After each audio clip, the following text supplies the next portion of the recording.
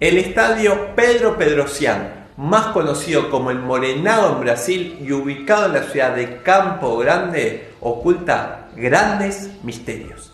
El primero de ellos es por lo ocurrido en 1982, en un partido entre Operario y Vasco da Gama, los más de 20.000 espectadores presentes aseguran que sobrevoló un ovni sobre el estadio.